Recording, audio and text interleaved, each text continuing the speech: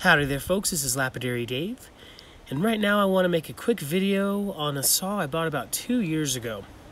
The Lortone Model TS10. The Lortone TS10 is a 10 inch trim saw. I was told maybe two years ago that the saw was going to be discontinued, which made me really want to pick it up because at the time it was about $280 give or take. And for a 10 inch saw, I feel like that is an incredible price. The saw did not get discontinued. Today it's going for about $340. And they also sell a version with a blade and a motor and a vise that's going for a little over $800. I have a lot of blades and I have a lot of motors and don't really need the vise, so of course I bought the $280 version. This machine seems to be put together really well. I really like how like raw it is. They didn't paint it in the traditional Lortone blue. I love that I can see the welds and stuff. Has this really cool and easy, simple, no frills blade guard. It included a pulley for whatever motor you're going to attach it to. However, the arbor is kind of small and doesn't fit a lot of like the General, elect- General Electric and um, other Dayton style motors that I've used in the past. But it does ironically fit the Champion juicer motors that I use a lot for my lapidary work and I find all over the sides of the streets here in Taos, New Mexico. Really cool that they included this. Since they didn't provide the motor, I wasn't expecting them to do this.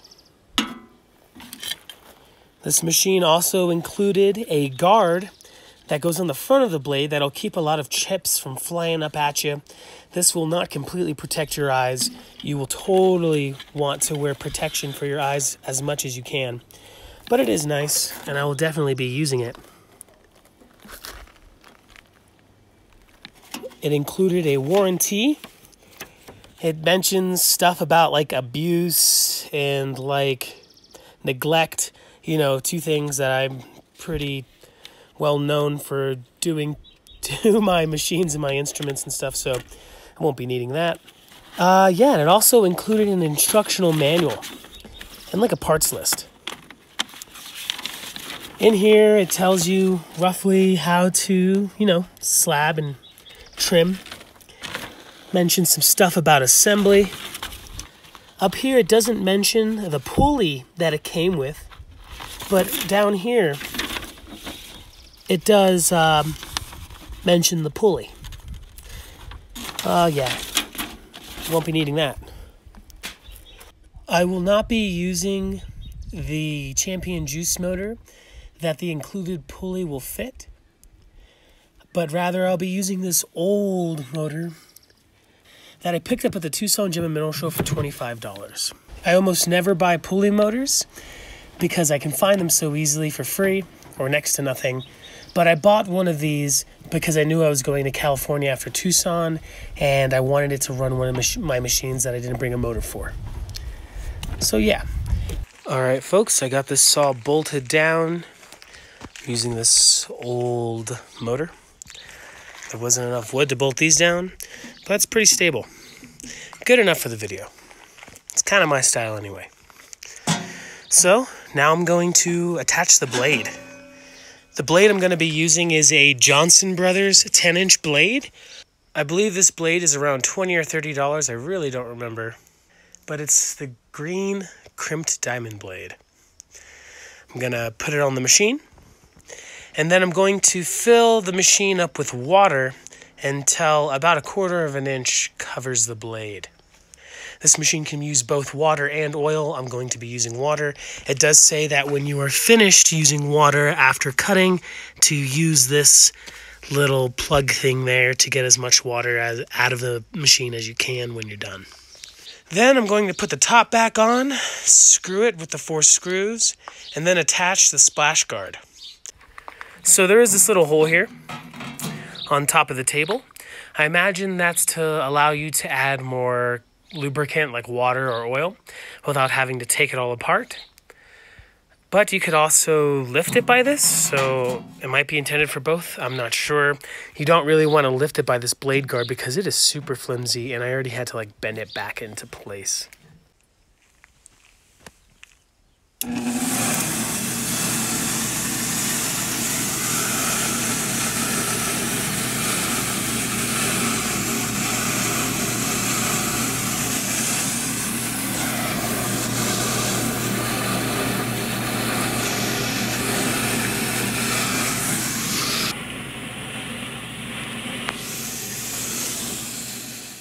All right, folks, so now I'm going to cut a few different materials with a few different hardnesses.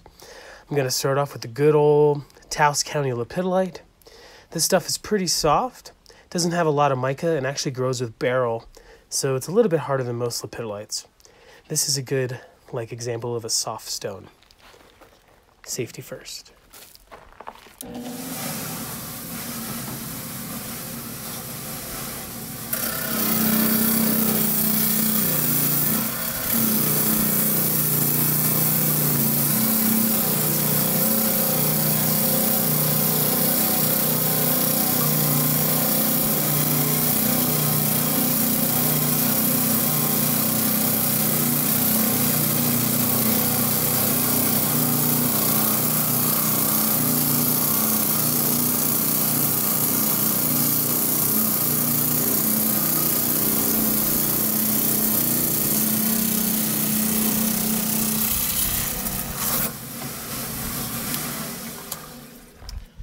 All right, easy as pie.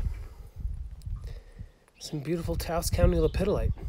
This feels extremely sturdy, stable, and precise. Totally love this saw. I don't know why it took me so long to getting around to using it, but I'm happy.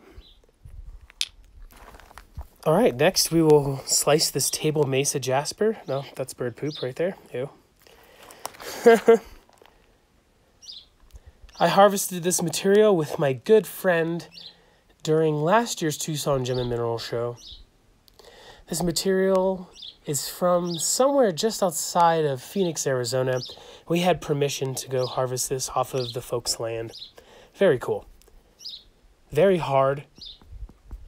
I would say not as hard as like petrified wood, but definitely a good example for something a lot harder than lepidolite.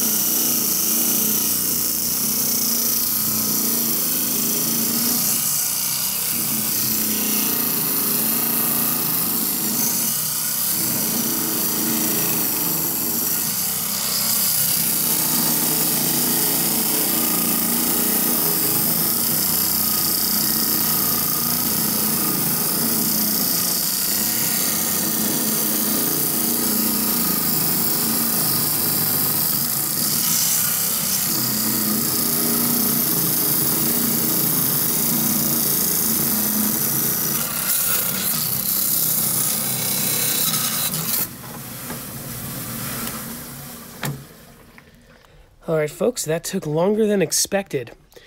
But I don't really have the saw set up as good as it could be. In the instruction manual, it said not to have more than an inch of play in the belt, and I definitely have probably close to double that. This is what I'm working with until I get a bigger piece of wood to set this up a little bit tighter, which would give a little bit more power to the saw. But definitely good enough for me. super satisfied. Here's all the paint from the brand new saw blade. That's fine. I don't like pretty saw blades anyway. If you would like to avoid having to find a piece of wood and attach the motor and do some trial and error like me, then you can spend the extra 400 to $500 to have it all come in one combo. If you're a baller like that, but me, I want the best deals always. Pay 280 bucks for this. And I don't mind having to play around with it and go to Ruben Medina's shop and make a nice big base for this. That's that. Very hard material. Pretty material. I have a bunch of this if anybody wants any.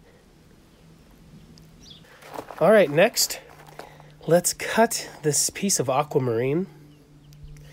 I ruined this piece that was given to me during last year's Tucson Gem and Mineral Show.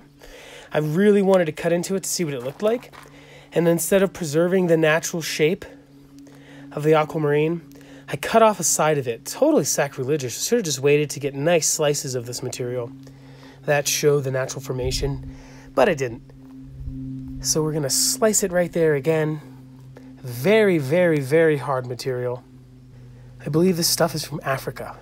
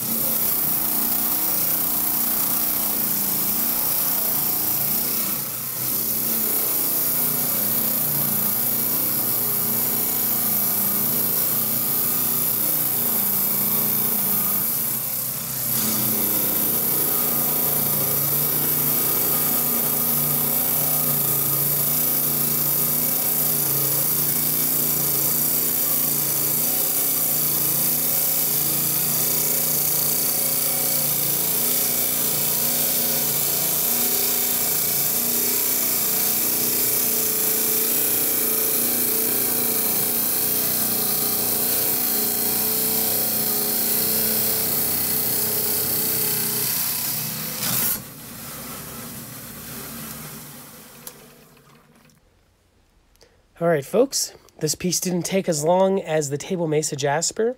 It is a lot harder, but way smaller. And so it didn't take as much time. Beautiful stuff. I love aquamarine in every color. Very, very, very pale blue and green. A lot of grays. Love the rust. Pick this up in Kino. Friend gave it to me, I mean. It was being sold at Kino. Anyway, and last but not least, we will cut something that this saw was made for, a very big rock. This is a soft rock. This is Brazilian serpentine that I picked up from Gem Center USA. looks like it's fractured right there. We'll see what happens. But I picked up this saw not only because I thought it wasn't going to be around anymore, but because I wanted to cut big things without having to run my slab saw. So we're going to do it. Looks like it's just about the size of what this machine was made for.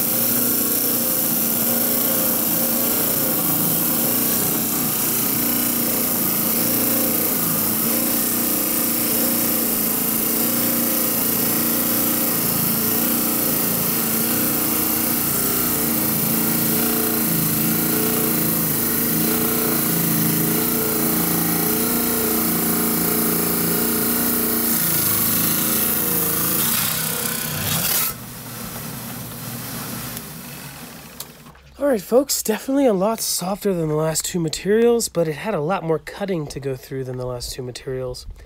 I love this stuff. Uh, about three or four years ago, Gem Center USA was selling this stuff for like four dollars a pound. Now it's closer to five or six. Not too big of a difference. I love to hunt down the neon version of this, nearly translucent and a lot, lot brighter. But this stuff is awesome nonetheless, super easy to work and extremely profitable. All right. All right, folks, so that's a video on the Lortone TS10 trim saw. I did forget to put on this belt guard thing that it came with, but I just found it. In my opinion, even at 370 something dollars, this is probably one of the best deals in the industry for a 10 inch trim saw. The $800 version is a very good deal too. High Tech Lapidary, a Cab King company, sells a 10 inch trim saw that's made out of plastic that is very good and I would actually probably prefer that one over this one. I think that saw is going for around $700. Just so that you folks know, you can put smaller blades on this machine. You can put a 6 inch blade, you can put an 8 inch blade. If you don't have any blades and you're desperate, you can run on down to Harbor Freight and pick up a 7 inch tile saw blade, an 8 inch tile saw blade, or even a 10. So if you only have enough money to get one saw and you have enough money to get a 10 inch saw, I do suggest that. You can put a skinnier blade on there for more precious material and finer trimming. Yeah, I absolutely love this saw. It's made out of fantastic components. The arbor is extremely true. I set mine up a little bit janky just to make this video, and it'll serve me until I can finally get a nice base for it. If you're interested in the TS10C, the version that comes with a motor and a blade, I highly suggest finding Vince Allred of the Simple Elegance EZ Cab Company on Facebook. I believe he sells these machines and he'll give you a great deal. And he's a fantastic person, and I highly recommend buying from him over a stranger online. If you would like to see some clips and some video of the TS10C, the version that comes with the motor, the base, and the clamp, check out Me Miner. I'm sure most of you folks probably already heard of him before. He's a fantastic YouTuber and in his latest video, he's using a TS10C to slice up some metal stuff. Great saw, great machine, great guy, and he makes it look a lot better than I do. Anyway, folks, I hope this helps somebody who is interested in the TS10 Lortone saw. I had a lot of fun. Happy I finally got around to setting her up. Feel free to ask me any questions in the comments section, all that good stuff. Until next time, my friends, I love you, and I'll see you soon.